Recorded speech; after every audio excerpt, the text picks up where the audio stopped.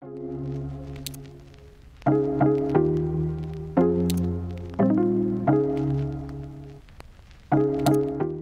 everyone, welcome back to the next cinema channel. Masih sama gua di konten 7 film terbaik. Kali ini masih sama dengan konten yang kemarin dan bakal ada dalam film-film keren dari salah satu aktris cantik yang memang punya pesona wanita menawan dengan begitu anggun. Aktris cantik yang sering berperan dalam film-film romance baper ini adalah Ralinsa.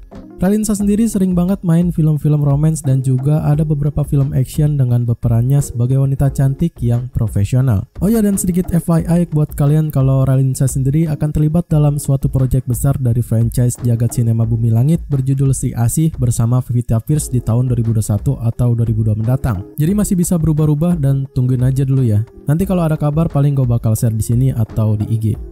Oke kembali lagi ke topik list film yang dibintangi oleh Ralinsa versi dari gua. Tapi sebelum itu kalian boleh pencet dulu tombol subscribe-nya dan juga sekalian aktifin notifikasinya Biar kalian gak ketinggalan sama rekomendasi-rekomendasi film lainnya yang ada di channel ini. Semoga kalian enjoy dan inilah list film terbaik dari Ralinsa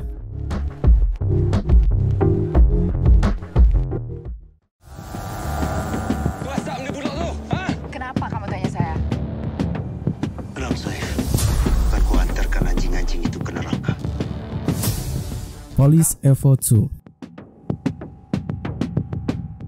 Police Evo 2 adalah sebuah film gabungan dari Malaysia Indonesia yang penuh dengan adegan tembak-tembakan dan beberapa efek meledak yang cukup keren.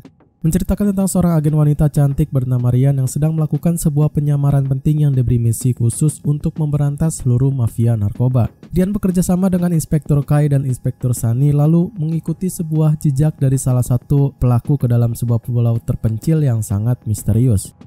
Sebuah kolaborasi yang cukup keren antara Malaysia Indonesia yang membuat satu film dengan cukup menghibur. Tapi sayangnya gua sama sekali nggak bisa merasakan feel bagusnya itu di ceritanya. Dan sebaliknya kalau gua rasa 80% filmnya ini bakal menghadirkan action yang sangat over porsi gitu. Tapi tetap seru kok untuk ditonton. Apalagi Ralinsa yang bakal berperan sebagai Rian di sini tampil cukup cantik dan punya gaya action yang keren banget. Police Evo 2 film gabungan antara Malaysia dan Indonesia dengan gaya action seru dan beberapa adegan meledakan-meledakannya ini di rating 7,1 di IMDb.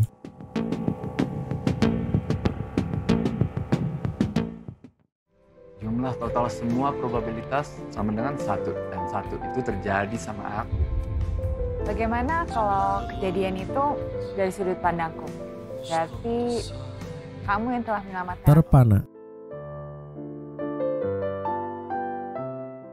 Terpana mungkin bakal menjadi sebuah film drama yang menggunakan alur cerita nggak biasa dari film-film lainnya dan menurut gua terkesan cukup membingungkan gitu. Menceritakan pada sebuah kisah dari pertemuan antara seorang wanita karir bernama Adeline dan seorang laki-laki yang aneh dan baik bernama Rafian. Pertemuan mereka adalah sebuah keajaiban dan juga peluang karena masing-masing dari mereka membutuhkan satu sama lainnya. Tapi takdir mungkin berbeda pendapat sehingga keduanya harus berusaha untuk bisa saling meluluhkan hati masing-masing. Kalian percaya selama 73 menit ini filmnya ini berjalan bakal cuma ada permainan kata dan plot story yang memang mengandalkan acting dari pemainnya yang juga diperankan oleh Fahri Albar dan Ralinsa. Yap, kalian harus percaya karena ya memang konsepnya kayak gitu. Eits, tenang aja, ini bukan spoiler kok. Selain dari permainan dialog dari para aktornya yang buat gue terpana untuk film ini juga ada dalam sebuah sisi keren dari sinematografi yang dibuat sangat-sangat sinematik dengan beberapa keindahan alam yang sangat bagus banget. Yang belum nonton, saran dari gua kalian harus langsung nonton filmnya ya. Tapi ingat buat yang suka dengan plot story unik aja. Terpana dengan menggunakan alur cerita unik dan beberapa dialog yang punya ciri khas tersendiri ini di rating 6,6 di IMDb.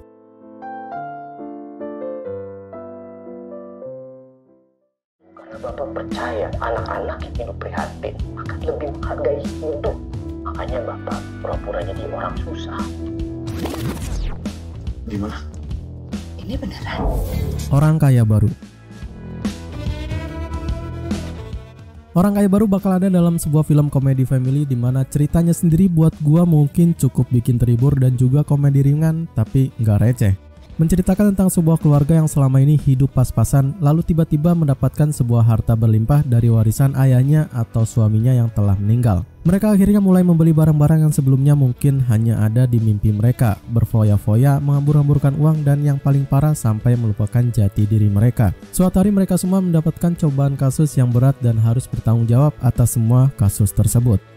Ini adalah film yang gua rasa patut banget kalian tonton bareng keluarga kalian karena mengandung makna dari kekeluargaan dan tentu aja komedi kocak yang selalu bikin kalian ngakak. Acting-acting dari para pemerannya di film OKB ini gua rasa cukup keren ya. Lalu watak-watak dari tokonya juga pun dibuat cukup menghibur dan juga punya sebuah pemikiran tersendiri. Dan lagi Ralinsa dibuat untuk memerankan watak yang berbeda dari film-film lainnya yakni jadi seorang cewek norak yang cukup bikin gemes. Orang kaya baru dengan gaya khas komedi yang unik dan punya cerita yang bikin emosi kalian nak turun ini di rating 6,5 di IMDb.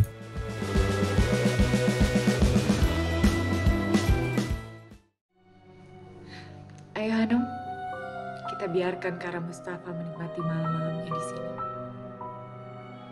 Menyesali sendiri apa yang telah dilakukannya. 99 Cahaya di Langit Eropa 99 Cahaya di Langit Eropa mungkin sebagian kalian udah banyak yang tahu dan udah cukup familiar lah sama aktris cantik Ralinsyah yang main di film ini. Menceritakan tentang sebuah kisah seorang jurnalis asal Indonesia yang tengah menemani suaminya untuk menjalani kuliah diktorat di Austria dan mulai sebuah konflik di luar perencanaan dan harus bisa beradaptasi untuk tinggal dengan nyaman di sana.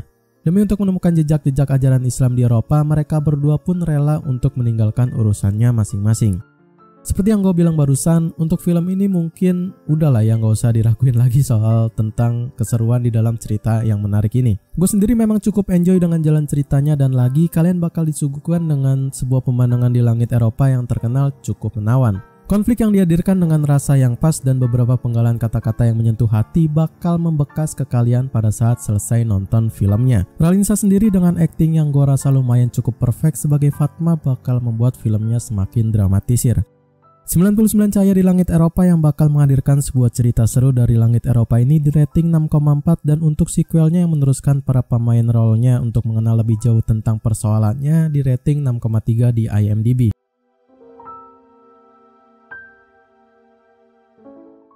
Satu hal yang harus kamu tahu. Kamu sudah berhasil menghancurkan dongeng saya. Hanya untuk menghidupkan dongeng kamu. Please, denger dulu. Surga yang tak dirindukan. Surga yang tak dirindukan ini mungkin hampir mirip 11-12 sama film 99 Cahaya di Langit Eropa yang memang menggunakan cerita religi dan konflik seru untuk diceritanya.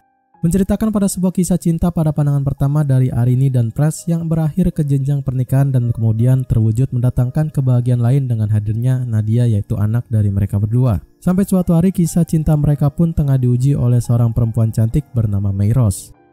Well, untuk film ini gua nggak bakal berkomentar apa pun dan cukup memberikan reviewan yang seadanya. Karena filmnya sendiri gue yakin kalian pasti udah banyak yang tahu dan memang ceritanya sendiri cukup seru untuk kalian tonton. Acting dari Ralinsa yang sebagai Meros di sini cukup natural ya sama peran wanita cantik yang memang selalu didapatkan sama si Ralinsa. Terus karena memang film ini bakal mengarah ke dalam sebuah drama romance yang cukup dibuat dramatisir, para pemerannya pun dibuat harus bisa meresapi karakternya dan akhirnya ya cukup bagus seperti di film ini.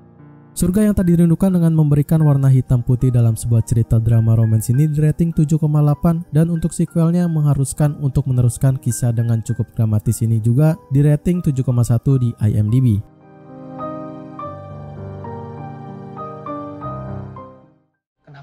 Malah bolak-balik nanya apa yang aku inginkan, bukannya malah menyatakan apa yang kamu inginkan? Bukan cuma pernikahan dua orang, aku juga menikah dengan keluarganya dengan seluruh lapisan sosial. Supernova, Ksatria, Putri, dan Bintang Jatuh.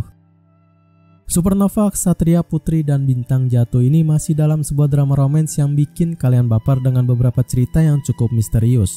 Menceritakan tentang sebuah pertemuan takdir antara seorang eksekutif muda bernama Vere yang punya segalanya termasuk kekayaan, kepintaran, dan ketenaran dengan seorang wakil pemimpin redaksi majalah wanita di Indonesia bernama Rana. Mereka berdua pun berbincang-bincang dengan cukup akur dan tentu aja lama-kelamaan keakuran dan tatapan mereka pun menjadi cinta yang mendalam.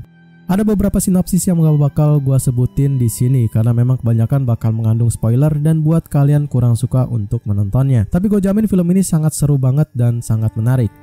Ralinsa bakal berperan sebagai Rana seorang wakil pemimpin redaksi majalah yang paras cantiknya mungkin tersampaikan kepada para penontonnya ya. Lebay banget kali gue ya. Tapi memang benar adanya kok. Lalu ada nama Herjunot Ali yang berperan sebagai Vere dengan begitu sempurna dan gua rasa ini adalah salah satu film keren darinya yang penghayatan karakternya cukup sukses. Supernova, Satria Putri, dan Bintang Jatuh adalah sebuah film unik dan menarik dari Indonesia dengan menggunakan sebuah genre drama romance ini di rating 6,4 di IMDb.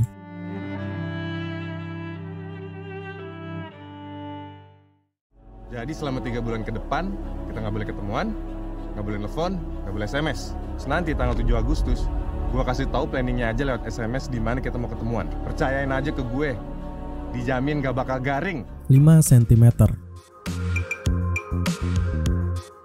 5 cm yang memang jadi sebuah film adventure drama romance ini bakal banyak banget menghadirkan sebuah persahabatan dari kisah cinta yang bagus dan cukup menarik menceritakan tentang lima remaja yang telah menjalin persahabatan hingga belasan tahun lamanya dan suatu hari mereka berlima merasa jenuh dengan persahabatan mereka yang punya cerita kisah tentang gitu-gitu aja. Akhirnya kelimanya pun memutuskan untuk berpisah dan tidak saling berkomunikasi satu sama lainnya selama tiga bulan lamanya. Sampai tiga bulan lamanya itu pun salah satu dari lima remaja itu mempunyai ide untuk membuat kenangan indah bersama.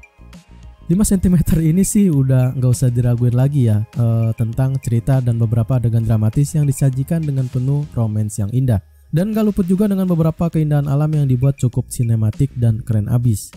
Persahabatan, cinta, dan petualangan bakal menghadirkan sisi-sisi lain dari para penontonnya. Dan mungkin bagi gue sendiri ini adalah salah satu film terbaik dari Indonesia yang gue rasa sih cocok ya jadi film tersukses banget buat Ralinsa. Gimana menurut kalian? 5 cm ini penuh dengan hal-hal dramatis dan beberapa cerita romance yang gua rasa sangat sayang banget buat kalian kalau belum coba nonton karena di rating tinggi yakni 7,2 di IMDb.